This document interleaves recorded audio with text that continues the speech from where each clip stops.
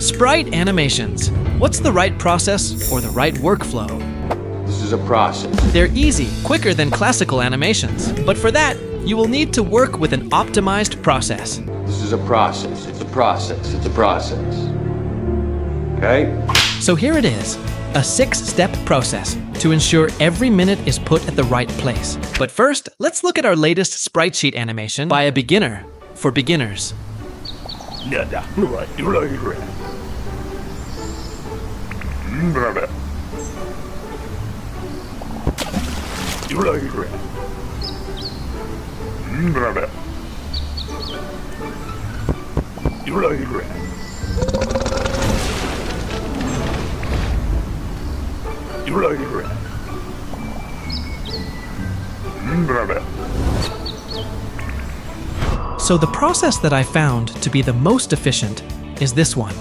a six-step process where the order is crucial.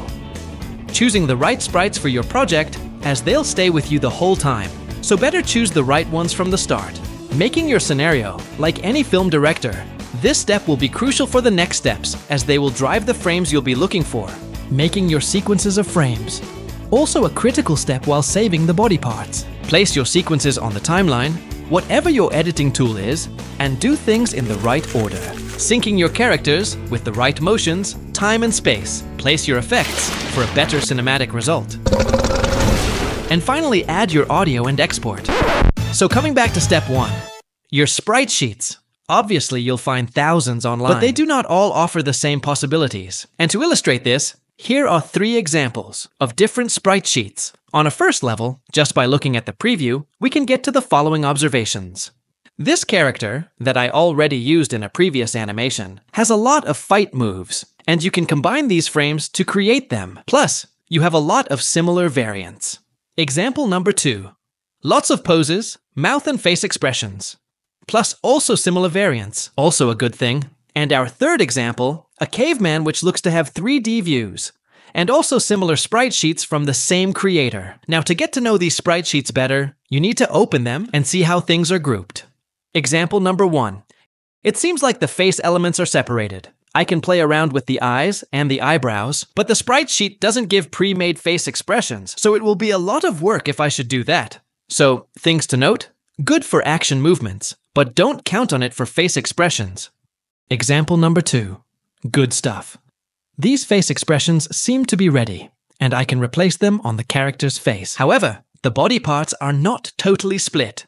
Obviously, you can always try to split them manually, but that would be quite some work. So things to note.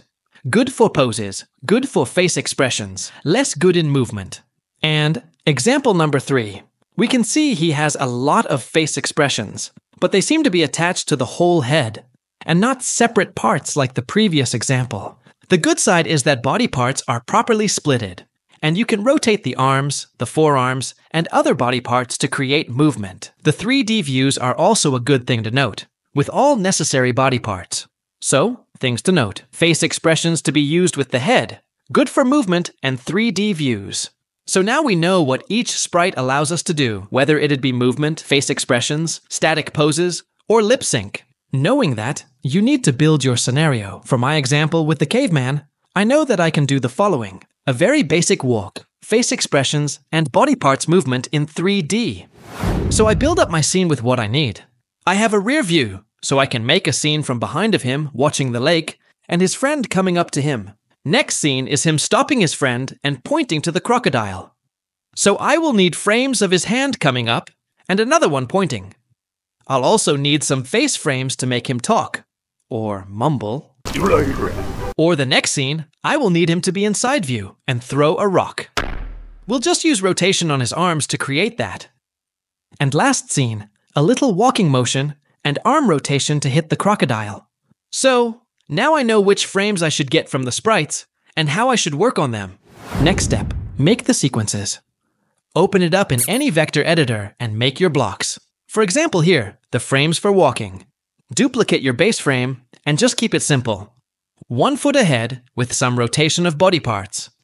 Duplicate again, and one foot behind using the same technique and keeping it simple. And number your frames for memory. Next section, pointing with his index. Same principle. Create a couple of frames by looking for the best body part for the job and using the rotation of his arms. I'm not going to go into details.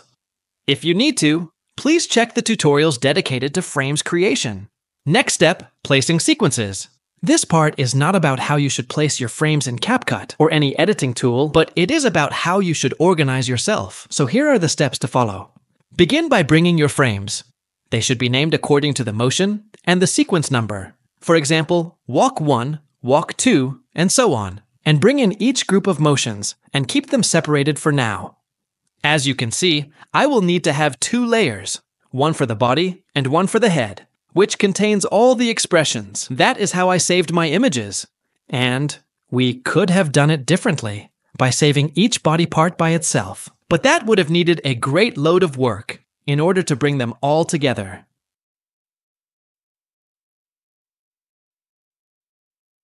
And although it would have allowed us to rotate and manipulate each body part separately, it loads up the timeline, which becomes huge and hard to navigate.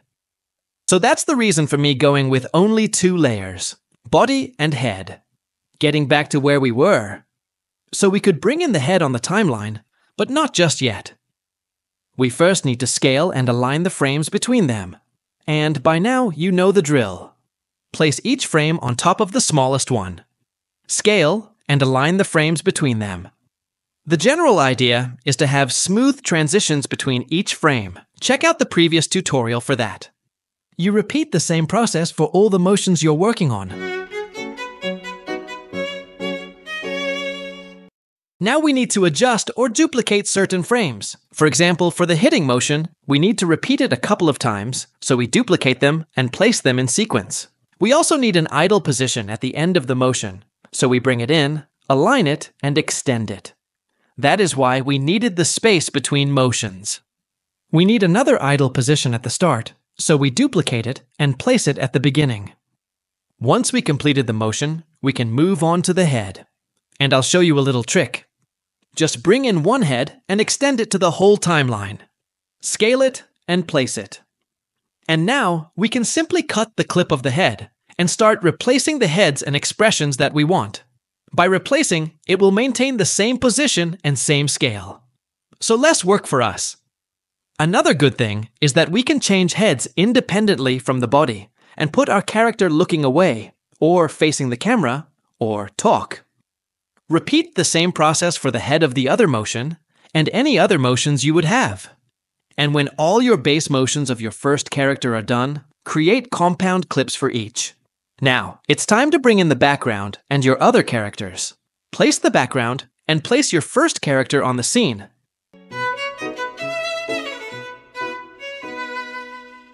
Then start building your second character according to it.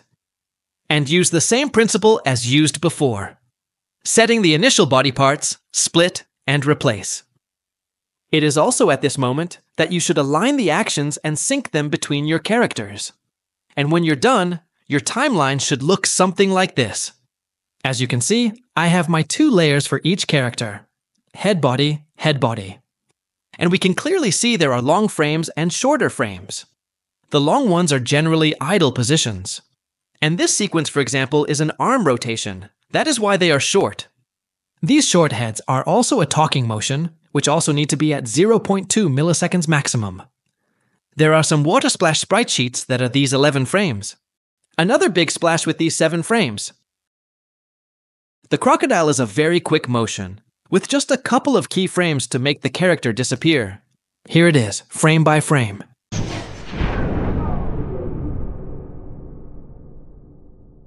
For the crocodile, you just apply a mask with keyframes to make him get out of the water. And here it is at real speed.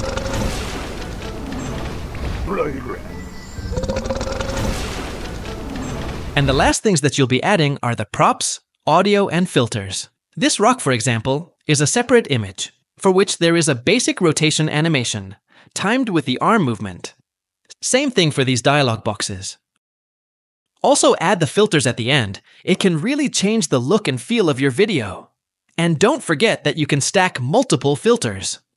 Coming to the last step, Audio effects. This is when you should put them in. At the end. You can put whichever you want, but the most important things are timing and volume. Timing because they should be aligned perfectly to your motions. In this example, the peak of the sound is exactly at the moment the character turns his head.